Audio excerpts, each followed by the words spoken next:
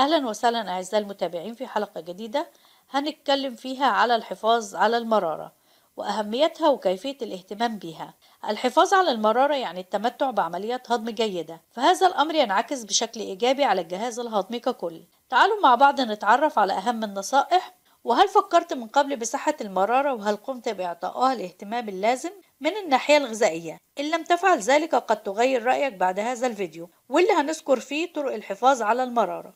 أول حاجة هنتكلم عنها أهمية الحفاظ على المرارة. تعد المرارة عضو من أعضاء الجهاز الهضمي والتي تعمل على جمع وتخزين العصارة الصفراء من الكبد. وقد تفكر أن وظيفة المرارة ليس بالأهمية الكبرى ولكنها على العكس ذلك. بالتأكيد فالعصارة الصفراء مهمة جدا وتلعب دورا كبيرا في مساعدة الجسم في هضم الدهون. وبالتالي الحفاظ على المرارة يعد عاملا أساسيا في الحفاظ على عملية الهضم بالشكل السليم. وتجنب الإصابة بكل من حصى المرارة والسرطان نظامك الغذائي يؤثر مباشرة على صحة المرارة لديك. نظرا للدور الذي تلعبه في عملية الهضم. فجمع المرارة للعصارة الصفراء وتخزينها وإضافتها للطعام أثناء عبوره في الأمعاء بيساعد في عملية تكسير الدهون وهضمها. بسبب هذا الدور أنت لا تريد الإصابة بحصى المرارة الذي يتكون نتيجة ارتفاع مستويات الكوليسترول بشكل كبير. وعند تكوين الحصوات من الممكن أن تسد اتصال المرارة مع الأمعاء الدقيقة مما يؤثر على عملية الهضم وخروج العصارة الصفراء خارج المرارة. في بعض الحالات يكون من الصعب التخلص من حصى المرارة وبذلك يضطر المصاب الخضوع لجراحة واستئصال المرارة. كليا. وعند استئصال المرارة لم يتوقف عمل الهضم فالكبد يستمر في إنتاج الكمية اللازمة من العصارة الصفراء لإتمام عملية الهضم. وينصح الأطباء في هذه الحالة بالتقليل من كمية الدهون في الأكل. هنتكلم كمان عن الحفاظ على المرارة من خلال اتباع نظام غذائي. تناول بعض الأطعمة والمشروبات اللي بتساعد في الحفاظ على المرارة ويعمل بشكل خاص على تقليل الجهد عن هذا العضو الهام. كميات كافية من الخضروات والفواكه ويهدف ذلك الحصول على المعادن والفيتامينات الهامة للجسم. الأطعمة البروتينية الخالية من الدهون لأن الدهون تزيد من العبء على المرارة. فلا بد من التركيز على تناول البروتين الخالي من الدهون قدر المستطاع زي الدجاج والأسماك والخضروات والأطعمة الغنية بالألياف لأن الألياف تلعب دورا هاما في الحفاظ على صحة الجهاز الهضمي ككل كما أنها تساعد على الشعور بالشبع لفترة أطول من الزمن وتغذي البكتيريا النافعة في المعدة. الأطعمة الغنية بالدهون والمفيدة مثل الأوميجا 3 فهي تقلل من خطر إصابة المرارة بالمشاكل الصحية المختلفة القهوة. شرب القهوة باعتدال يساعد على الحفاظ على المرارة ودورها الوظيفي بشكل جيد. الأطعمة والمشروبات الغنية بالكالسيوم وذلك يدعم صحة المرارة ويحافظ عليها. يتواجد الكالسيوم في الخضروات الورقية الخضراء بكثرة مثل البروكلي.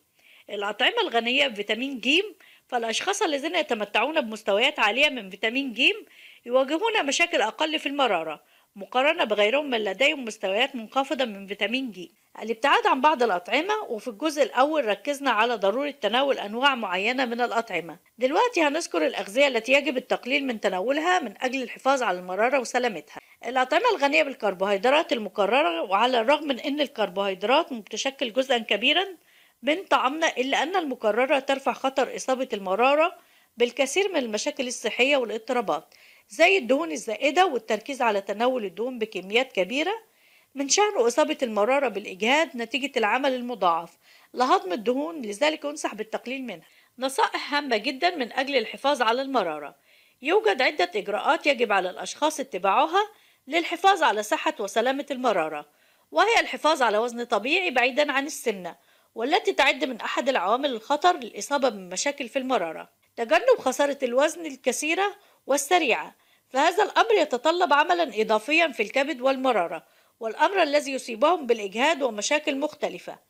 الابتعاد عن مسببات الحساسية وبالأخص التي تتسبب في حساسية الطعام والإقلاع عن التدخين. الحفاظ على المرارة سيساعد في الحفاظ على صحة جيدة للجهاز الهضمي ككل ويبعد عن الجسم المشاكل المرتبطة قدر المستطاع.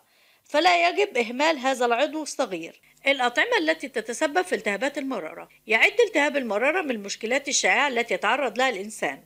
هنتعرف مع بعض على بعض الأطعمة التي تتسبب في التهابات المرارة وإيه الغذاء الصحي المناسب ليها. هناك بعض الأطعمة التي تلحق الضرر بالمرارة وتسبب التهابا والتي يجب تجنبها أو تناولها بكميات قليلة من قبل الأشخاص الأصحاء. لحماية المرارة وأول حاجة هنتكلم عنها الكربوهيدرات المكررة. وتعد الكربوهيدرات جزءا من الغذاء اليومي الذي نتناوله. وتعد الكربوهيدرات غير المكررة زي الشوفان والحبوب الكاملة من الأغذية المهمة والأساسية. لكن الكربوهيدرات المكررة تزيد من مشكلات المرارة حيث أن تناول 40 جرام أو أكثر من السكر يوميا يزيد من خطر الإصابة بالتهاب المرارة إلى الضعف.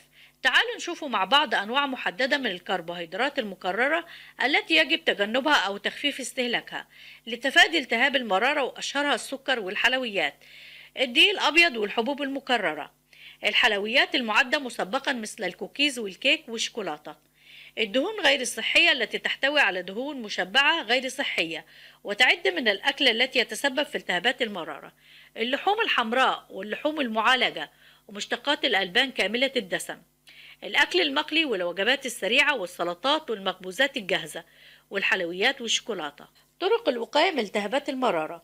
اتباع نظام غذائي صحي وذلك عن طريق الابتعاد عن خيارات الأكل التي تسبب التهابات المرارة وبيساعد النظام الصحي على الوقاية من التهابات المرارة لاحتوائه على الخضروات والفواكه والحبوب واللحوم الصحية والابتعاد عن الدهون التي ترفع الكوليسترول. ممارسة الرياضة لأن لعب الرياضة يساعد على تقليل الكوليسترول الذي له دورا رئيسيا في تكوين حصى المرارة والتي تعد أهم مسببات التهابات المرارة. خسارة الوزن بشكل بطيء على ألا يتجاوز 1 كيلو جرام في الأسبوع حيث يزيد خسارة الوزن السريع من فرصة تكوين حصى المرارة تجنب نسيان أحد الوجبات لأن المرارة تفرز العصارة الصفراء للمساعدة في عملية الهضم. وعدم تناول أحد الوجبات الرئيسية يجعل العصارة تتراكم في المرارة وتسبب التهابا. تناول كمية كافية من الماء لأنه يساعد في تفريغ المرارة وتقليل من ترسب العصارة. الصفراء فيها. ويمنع تكون حصوات المرارة وتنظيف الأمعاء وينظم عمل إنزيمات الكبد. بيعالج الإمساك وهو نبات آمن ومفيد جدا للصحة العامة وخاصة لكبار السن والأطفال. فهو حلو المذاق كما أنه يدخل في صناعة ال corn flakes. ثلاث مشروبات طبيعية لدعم صحة الكلى والأخيرة مفيدة جدا حتى في حالات القصور الكلوي. رقم واحد البقدونس من أفضل النباتات اللي بتقلل الضغوط على الكلى لأنها بتخلص الجسم من السموم وبتساهم في التخلص من السوائل المحمية. بنغلي المية وبعد الغليان بنسيبها تهدى وبعد كده بنحط فيها البقدونس وننقعه لمدة عشر دقايق وبعد كده بنشربه شاي البقدونس. تاني حاجة جذور الهندباء أو أوراق الهندباء. جذور الهندباء موجودة عند العطارين وتعتبر مدر طبيعي للبول غير إنها غنية جدا بالبوتاسيوم اللي هو يعتبر أهم وأحد المعادن لصحة الكلى. جذور الهندباء المجففة بنشربها زي الشاي. أما أوراق الهندباء بنضيفها إلى السلطة. كمان معانا تالت حاجة القطاد الصيني. وده أفضل عشبة لتحسين وظائف الكلى وتخفيف أعراض القصور الكلوي. بيجي عبارة عن عشبة مجففة بنطحنها وبنضيف منها معلقة للمية المغلية وبنشربها زي الشاي. وده كل ما كان لدينا اليوم وشكرا على حسن المتابعة ونتمنى لكم دوام الصحة والعافية وإلى اللقاء في فيديو جديد ومعلومة جديدة والسلام عليكم ورحمة الله وبركاته.